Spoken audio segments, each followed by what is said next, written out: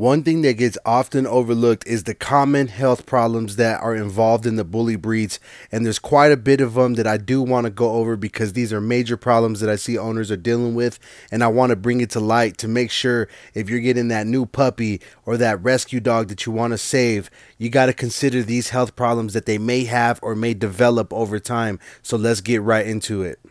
A great way to combat health problems that your dog may experience is by giving them a regular exercise and training routine.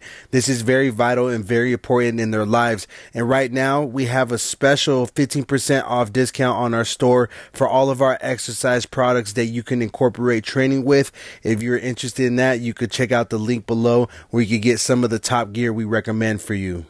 Pit bulls' health problems are a little different than other breeds. They face many health problems, and it's always good for you to know them. It can help you identify a health problem early on when you get your puppy and the right treatment from the get go. Here are the top six health problems in pit bulls that I have discovered.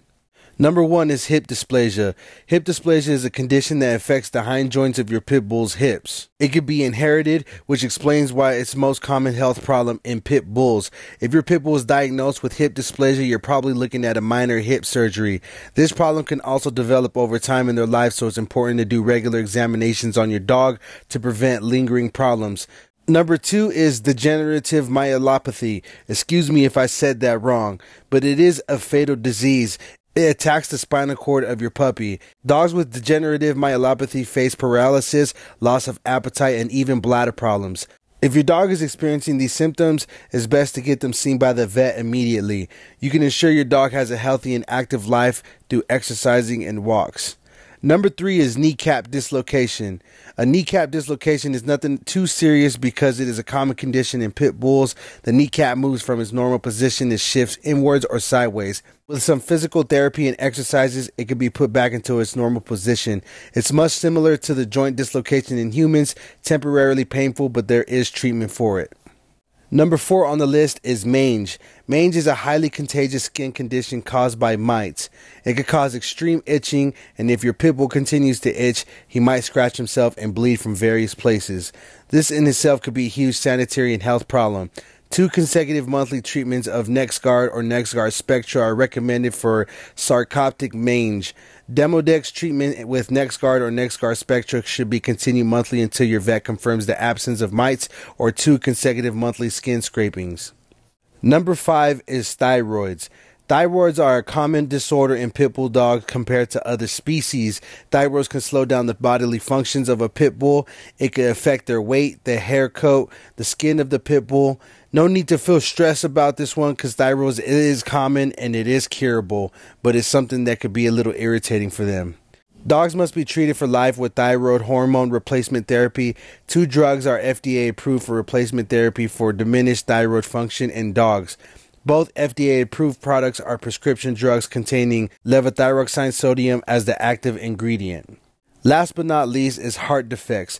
A heart defect is a congenital heart disease. Puppies that are born with heart defects possibly won't lead a long life and could survive for roughly 6 to 14 months, depending on the situation.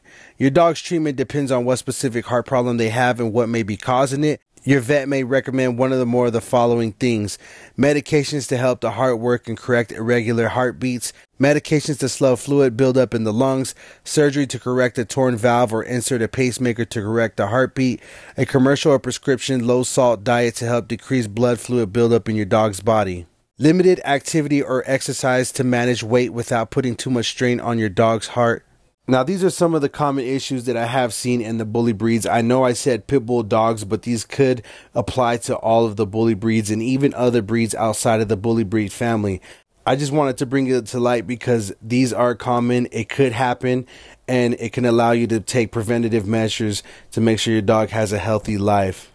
Personally, me, I am thankful and fortunate that my dog has not been dealing with any of this except for skin issues regarding allergies in that aspect. Now, I'm curious, are you guys dealing with any of these health problems? And if you are, if you would just leave a comment for other people that may be experiencing similar health problems that other dog owners are facing, and you could possibly give them some recommendations down below. I know that found this very helpful for each other dog owners because we like to help each other in this community.